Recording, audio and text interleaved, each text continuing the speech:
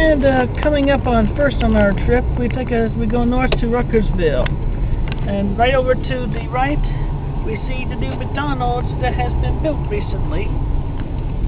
We'll get a closer look at that shortly. And over to my left is the new Walmart that has been constructed, has been finished for over a month now. It's got everything in there. It's practically supersized. There is the new McDonald's. Small in its stature, though it can stand to improvement.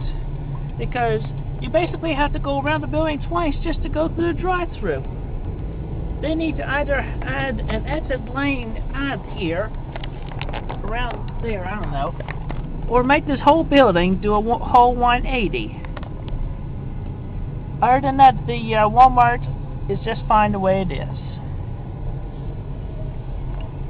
And in a moment up there, we'll take a closer look at the Burger King, which my car goes to sometimes.